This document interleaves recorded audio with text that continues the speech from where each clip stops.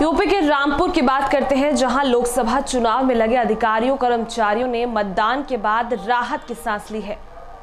संवेदनशील स्थानों पर अधिकारी और कर्मचारी पूरी तरह से चौकन्ना रहे और मतदान शांतिपूर्ण होने के बाद अधिकारियों और कर्मचारियों के चेहरे खिले नज़र आए। संजीव संजीव सर ये आपने जो आज चेक किया है यहाँ बूथों पर क्या क्या पाया गया सर कुछ? वोटिंग ठीक चल रही है पीसफुल है। और लगभग अभी तक 50 परसेंट से ओवर वोटिंग हो गई है। कहीं पे कोई शिकायत नहीं है ईवीएम सब ठीक काम कर रही है। किसी तरह की कोई दिक्कत नहीं। मैं जितने जोन में मेरे जोन में कोई ईवीएम अभी तक रिप्लेस नहीं हुई इसमें कोई रिप्लेस नहीं हुई है? कोई रिप्लेस नहीं। सब ठीक काम कर रही है।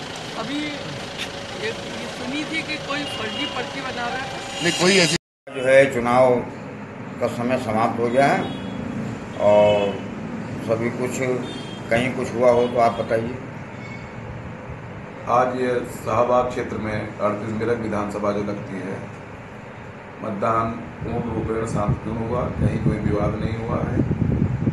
और एक जगह, दो जगह पर जो शिकायतें आई थी, वो झूठी प्राप्त हुई, जो वहाँ पर कुछ घटना घटित हुई। जाँच कराने पाया गया कि वो सत्य के खिलाफ हैं, असत्य हैं और निराधार हैं।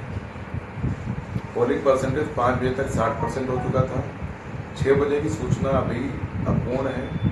थोड़ी देर में प्राप्त होगी। उम्मीद है सिक्सटी टू परसेंट के ऊपर ही हम लोग निकल जाएँगे। अफवाह फैलाने वालों में सब कितने लोग हिरासत में लिए गए थे? अफवाह फैलाने वालों में लोग पकड़ में तो नहीं आए। लेकिन क्योंकि अफवाह फैलाने वाले सबसे पहले होशियार रहते हैं वो पहले भाग जाते हैं। बाकी जो अच्छे लोग हैं वो रह जाते हैं मौके पर।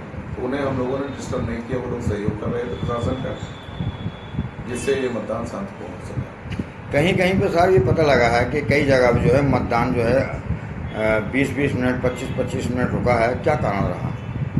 कुछ जगहों पर मशीन में ये दिक्कतें आई हैं, लेकिन उनको तुरंत रेक्टिफाई करा दिया गया। Within five or ten minute पाँच दस मिनट से ज़्यादा कहीं नहीं लगा है।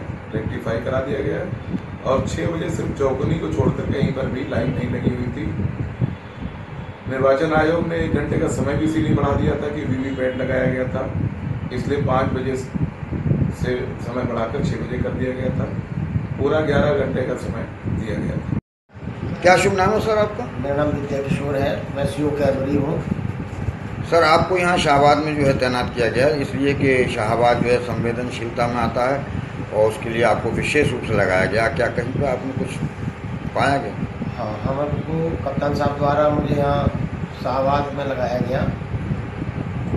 की व्यवस्था देखने के लिए हम लोगों ने काफ़ी मेहनत भी की। इंस्पेक्टर साहब भी मेरे साथ में रहे, एसडीएम साहब भी साथ में थे और जहाँ जहाँ पर किसी भी प्रकार की कोई सूचना मिलती थी, तुरंत पहुँचते थे और वहाँ पर किसी भी प्रकार की किसी भी जगह कहीं कोई ऐसी घटना घटित नहीं होने दी। बड़ा सकुशल, ईमानदारी से मतदान कराया गया। एक गाँव चौकौनी पड़ता है वहाँ पे क्या मामला था? आप वहाँ गए होंगे हाँ वहाँ पर हम लोग गए थे, वहाँ पर कोई ऐसी बात नहीं थी। महिलाएँ थी ज़्यादा आ गई थी वहाँ पर तो लाइन को लग करके थोड़ी, थोड़ा व्यवधान हुआ था, फिर बाद में लाइन लगा दी गई और उनको वोट डलवा दी धन्यवाद।